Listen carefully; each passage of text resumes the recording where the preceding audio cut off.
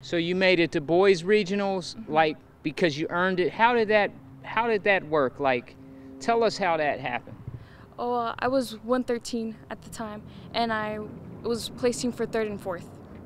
And I did everything I could to place third and fourth. And placing third meant, oh, I got a better opportunity to wrestle second. Because if I wrestled fourth, then I would have to go to first, wrestle with first. And that was I was like, I was like, no, I need the better opportunity. I need to wrestle out there and place.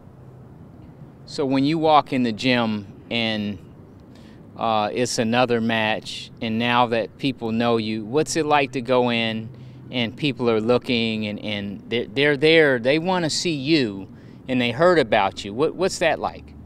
it feels amazing. The spotlight's on me, and it's it's all these four years that I worked hard for, and people are chanting my name, and it's like it's amazing because it shows how I show all my hard work, and my mom, my greatest number one fan, always shows up, never in her mind, and she's like, I knew you could go this far, you could keep on going, and my coaches always say pain is is weakness leaving out the body. And yes i go up to that and i keep on showing up every day if uh, Iowa Hawkeyes or Oklahoma State or one of these big time wrestling programs that come up to you in Kissimmee and they, they give you the whole song and dance and they um, you know they, they, they want to give you an education um, would you entertain would, would you would you think about uh, going to somewhere like that to, to compete at the highest level? What would that look like?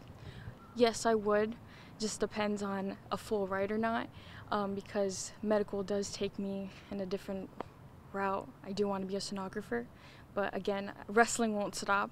I'm still going to come here help out my school because they've done a lot for me and yes i will continue wrestling.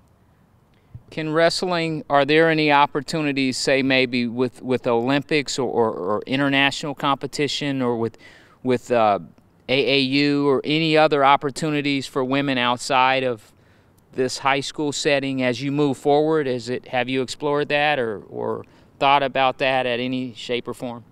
Um, a college reached out to me to wrestle for them, and I was thinking about it. But I know other colleges along the way are gonna come in, come in my way, and I will decide or I'll think about it.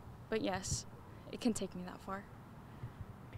When you go to Kissimmee this week, if you guys win states, what would that be like? What would that mean to your Tornadoes Nation, Booker High School, Sarasota, the Suncoast, your family, your coaching staff, the student body, all these people? Uh, what would that mean to you personally? Well, I'd feel very happy and very grateful to know that I left everything on there and that other girls out there in the community can go and wrestle and wrestle for us as well because wrestling is is a sport that is mentally, physically, emotionally, it's all there for you. And if you show up, you're doing yourself a favor. You're you're giving all the the weight off your shoulders when you realize how a coach can love you that much, how all this training can do for you, and how far it takes you. Is it fun? Yes, it is. It is. Um, every day, come out there, go on the mat, train with your you train with your family, and you get mad at your family, you get happy with your family. You're there for their moments, and it's it's amazing.